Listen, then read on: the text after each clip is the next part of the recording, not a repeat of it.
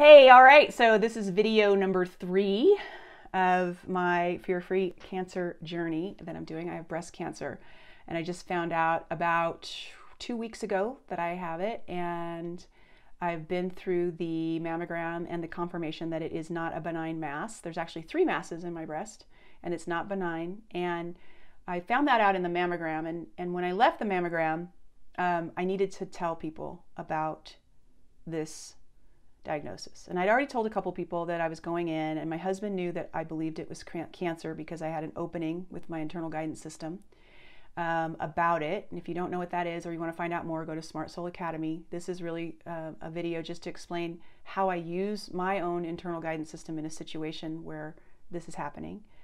I left and I felt, when I left the mammogram and they said it wasn't benign, I felt actually very tender and it was very interesting. I just felt like this this real sacred tender relaxed centered feeling in my body because i number one i right away knew that it was cancer the moment i test, touched the lump.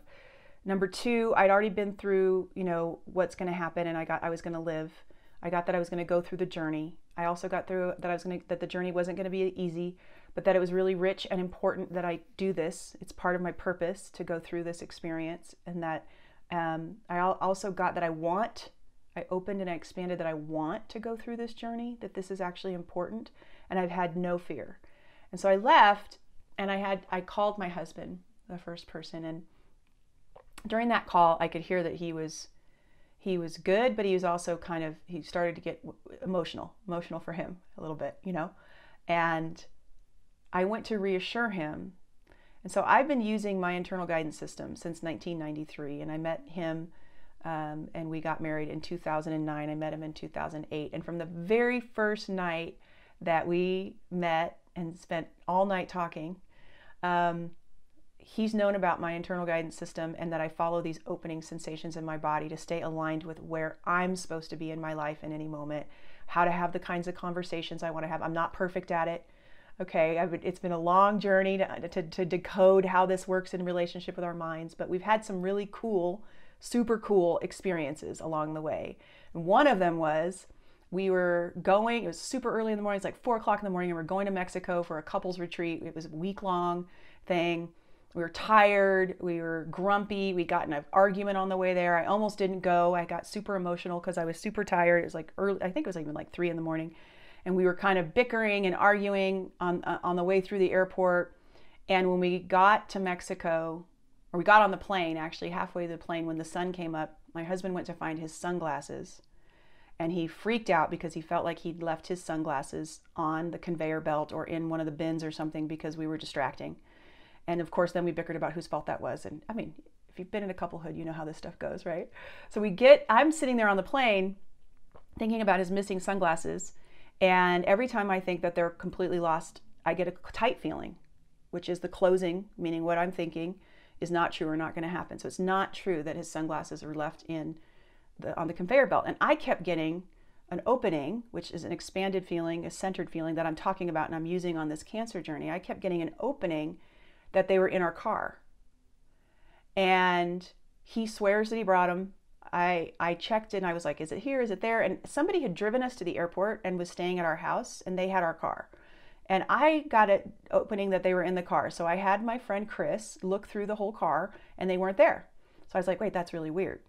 So then I got an opening, which is an ex- when I was thinking about where in the car, they had slipped under the passenger seat of the car that's what I got the biggest opening, which is a larger expanded feeling.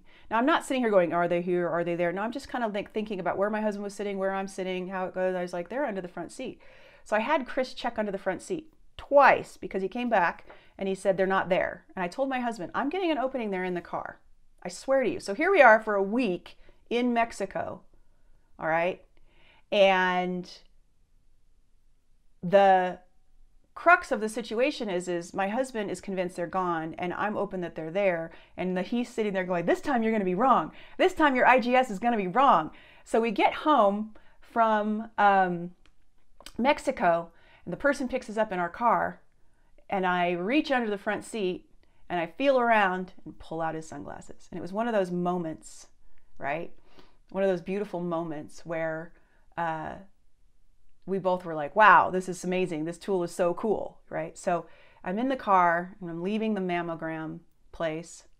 This was like last week, right? And I um, call him up to tell him.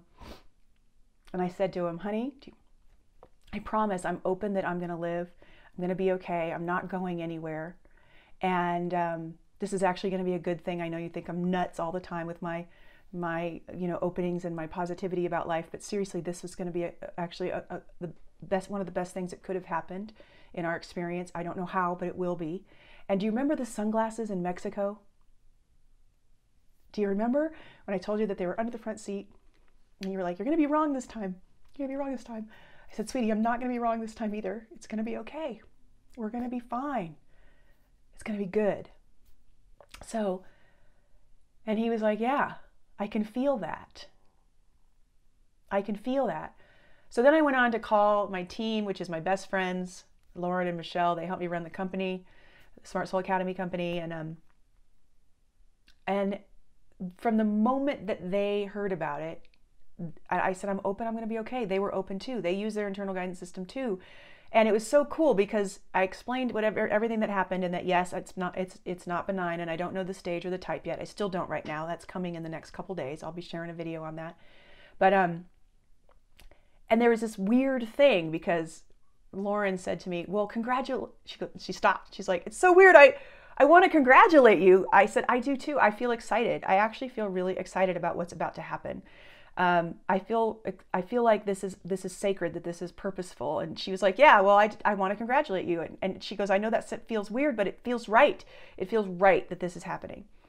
And this is what I'm this is where I've been since February. It's now May it's May 6th and I just feel so full and and and peaceful and and like this is important. And I called Michelle, and all of us have had the same experience. I've shared this with the community of students in Smart Soul Academy on a call, and and and I, I said drop into your listening, which is one of the practices that we use in order to help you guide through how to run your day. It's called flow, and you flow through your day from opening to opening to opening. And I said drop into your listening, and I want you to be with me on this and check your own openings and closings because this is what I'm getting, and everybody as well is getting an opening. Your openings and your closings are only to what your mind is thinking. So, as I was speaking on the call about my journey, their own thoughts about what I was saying is what they're getting their response to, and they were all getting an opening as well. And it's been that way overwhelmingly. And so, I guess the point of this is that if you have people to tell about this journey, it's really important for you to get into your own space of and deep knowing around what's the path that's coming towards you and how you feel about it. And the, and the crazy thing is, is I've opened at people dying. My brother passed in, in uh, 2003. He died in a tragic way. And from the moment that I heard he had disappeared, I got an opening I wasn't going to see him again. I've had many people in the community get an opening that their, their parent was going to pass from cancer or was going to die from something. And there's a sense of peace when, even though it seems dire and, and scary and fearful and painful, if it's the truth, it doesn't feel that way. It feels centering. It feels right. It feels like a part of life. It, it, it you, you, it becomes beautiful and, and precious and important instead of horrific and scary and, and traumatic. And, and that's where you can be. You can actually experience things that seem harsh by stepping out of your mind and using your innate wisdom of your body to reconfigure what's true for you. And so as I went and told people, my truth was so loud. I I don't have any closing fear or overwhelm or anxiety, terror, or panic. I don't have any of that, and they could feel it. So, anyways, I'm gonna um, end up the videos. I'm kind of catching you up. Um, I'm to do a, a, biopsy. What happened during the biopsy? Those were one of the moments where I had some fear because I was told it was super painful, some of the worst pain somebody's ever felt, and I had to move through that. I got, I, I started getting this scared. I was like, wait a minute, I'm scared. That means what I'm thinking is not true. It's not going to be painful, and I want to share what actually happened on the biopsy table. And then we're waiting for the results. We're waiting to find out um, what type and stage of cancer that I have. So I'll be sharing all this with you. I'm glad you're here. And if you know anybody that this can help, please send it along. I would appreciate it. I'd love for people to be able to feel the way I feel. Plus, it's the healthiest thing you can do. And talking to my doctors, being fear free and stress free is so nourishing and helpful for the cancer journey.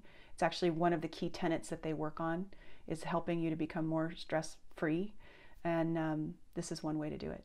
All right. Thanks so much. Love you so much. Have a great day.